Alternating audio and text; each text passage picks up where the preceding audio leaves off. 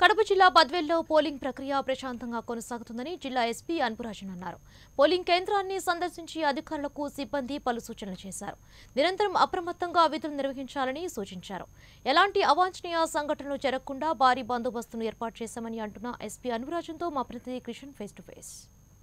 ఆ నేపథ్యంలో కూడా బద్వేల్లో రెండు రోజులుగా కూడా ఎస్పీ గారు ఇక్కడే తిష్టవేసి ఎక్కడైతే పోలింగ్ కేంద్రాల వద్ద ఎలాంటి చర్యలు తీసుకుంటున్నారో అదేవిధంగా పోలింగ్ కేంద్రాల వద్ద ఉన్నటువంటి పరిస్థితిపై ఆరా తీస్తూనే మరోవైపు ఆయా పోలింగ్ కేంద్రాలను కూడా సందర్శిస్తూ వస్తున్నారు ఈ నేపథ్యంలో మనతో పాటు ఎస్పీ అంబురాజన్ గారు ఉన్నారు. ఆయన తెలుసుకుంటారు.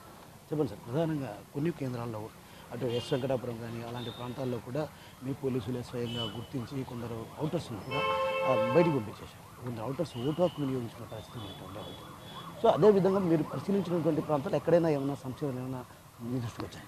ప్రస్తుతం ఎక్కడ కూడా ఎలాంటి ఇష్యూస్ రిపోర్ట్ కాలేదండి. అన్ని చోట్ల కూడా రెండు వందల డెబ్బై ఒకటి ఎనభై ఒకటి పోలింగ్ కేంద్రంలో కూడా ప్రశాంతంగా జరుగుతున్నాయి.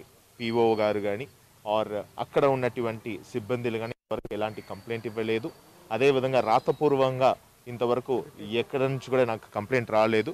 కొందరు ఫోన్ కాల్స్ ద్వారా కంప్లైంట్స్ చెప్తున్నారు. ఆ కంప్లైంట్స్ అన్నిటిని కూడా మేము అటెండ్ చేస్తూ వస్తున్నాము ప్రతి చోట కూడా. Striking forces special strike and seventy two ప్రత్యేక ఎస్ఐలు రూట్స్ని మానిటర్ చేయడానికి సెవెంటీ టూ సెపరేట్ వెహికల్స్తో రూట్ మానిటర్ చేస్తూ వస్తున్నాము. అయితే మాత్రం చట్ట ప్రకారంగా ఎలాంటి చర్యలు తీసుకోవాలో అది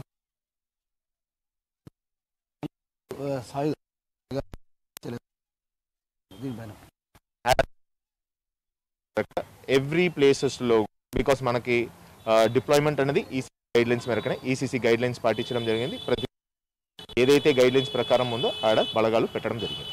సార్ మధ్యాహ్నం నుంచి కొన్ని సంశాత్మకమైనటువంటి గ్రామాల్లో ప్రత్యేకమైన దృష్టి సారించే అవకాశాలు ఏమైనా ఉన్నాయి? అదేవిధంగా మధ్యాహ్నం నుంచి కూడా కొన్ని ప్రాంతాల్లో గొడవలు జరిగే పరిస్థితి ఉండే అవకాశాలు ఉన్నాయనుకుంటే అనుమానాలు పెట్టుకోవాలి ఆ నేపథ్యంలో మీరు ఎలాంటి చర్యలు తీసుకోబోతున్నారు? ప్రస్తుతం నేను చెప్పిన ప్రకారం అందరూ కూడా కూడా ప్రతి మండల్ని చెక్ చేసుకుంటూ ముందుకు వెళ్తూ వస్తున్నాము ఎక్కడైనా ఇష్యూస్ ఉన్నప్పుడు ఇమీడియట్గా ఖచ్చితంగా రెస్పాండ్ అవ్వడం జరుగుతుంది. ప్రధానంగా రెండు